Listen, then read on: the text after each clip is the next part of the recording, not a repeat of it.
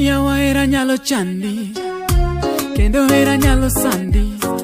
Kichung marach Yawa kichung marach